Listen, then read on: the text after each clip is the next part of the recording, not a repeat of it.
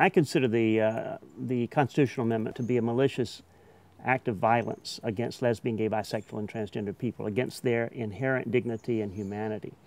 Um, it has nothing to do with marriage in the sense of trying to pr protect marriage. It is essentially wanting to say that lesbian and gay uh, couples have no right, uh, should not be respected, and have their marriages recognized by the state of North Carolina. In September of 2011, I read an article in the News and Observer, uh, and it was about the constitutional amendment.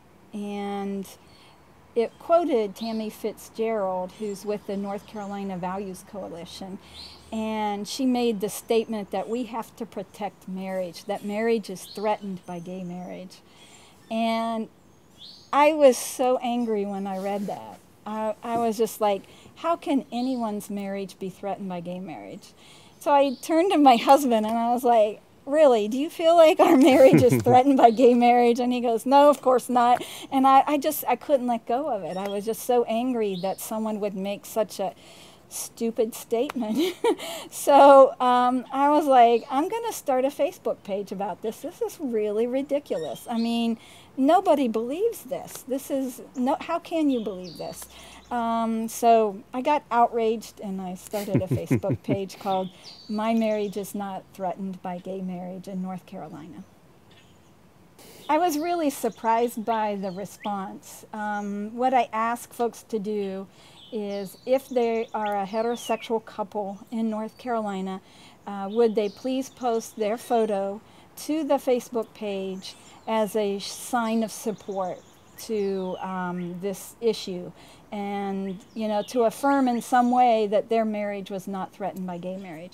They posted wonderful photos.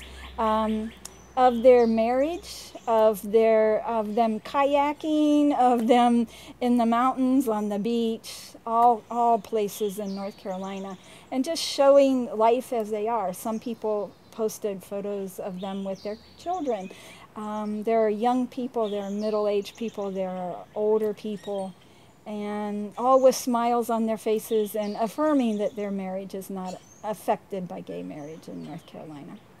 Non-gay couples should oppose the constitutional amendment because they, of all people, understand um, how important the protections are that are provided by the state.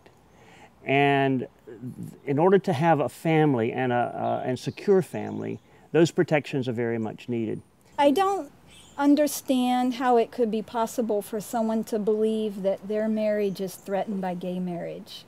Um, I look at our marriage and what could be a threat to it, and gay marriage is not one of those things that could be a threat to it. Um, there are lots of threats to marriage. Mm-hmm. You know, um, working too much, uh, arguing over money, um, not uh, staying focused on what you need to stay focused on. There are lots of threats to marriage. Um, gay marriage is not one of those, and I don't understand how anyone could think that. It just seems impossible to me. The uh, possibility for same gender couples to marry is not a threat. Um, to the marriage of non-gay couples. In fact, it enhances the institution of marriage. It really puts the emphasis on the fact that love and the commitment that people make to one another is the real foundation of marriage. It's not gender, it's not class, it's not religion, it's not color, it's not any of the other things that we've often said, you know, are, are conditions that have to be met for, uh, for marriage.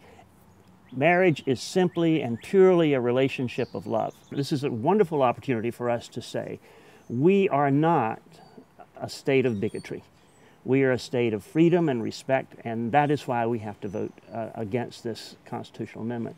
And that will be a witness to the nation that a southern state mm-hmm. stood up to um, uh, religious bigotry and um, uh, social bigotry against lesbian, gay, bisexual, and transgender people and said, no, we are not going to do that. My marriage and my marriage and our, our marriage, marriage, is, not threatened, threatened by, by same gender in North Carolina. Carolina. Okay. All right. We'll say gay marriage. That is, um, well, Well, marriage equality is what I like to say. I don't like the idea of gay marriage, but um, I mean the term because that implies something that is different from other marriage. But um, uh, marriage equality is more comprehensive. This is wonderful. See, we even get a glimpse, you know, behind the curtain here. Yeah, There- there's- yeah, even yeah. within the same couple. you know, Exactly. That was probably better than- points of view. Can, can we get a couple, a couple more versions in? Okay, and let's look at each other on our marriage. Okay, Okay, sounds good. Do you know what you're gonna say? My marriage and my marriage And and, our, our marriage, marriage is is not not threatened by by- a marriage in North Carolina. Sorry, I said affected.